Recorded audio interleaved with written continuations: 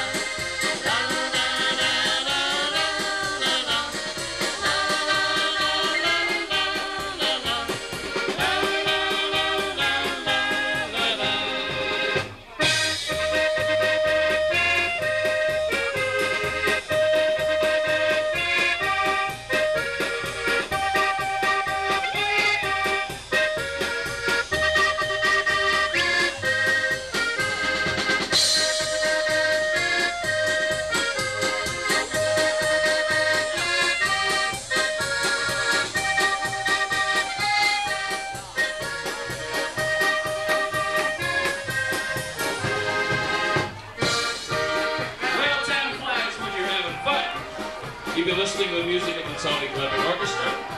We're glad to have been with you this afternoon. We'd like to remind you that Al Batistelli is coming up next. So uh, a lot of good things happening here on the cruise. So from Tony